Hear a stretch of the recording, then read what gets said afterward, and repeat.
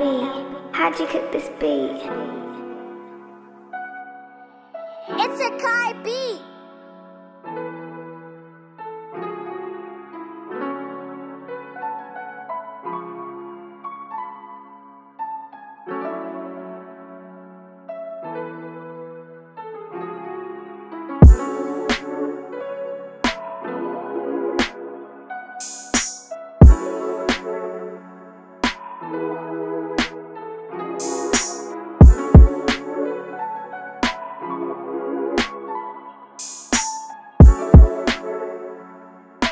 you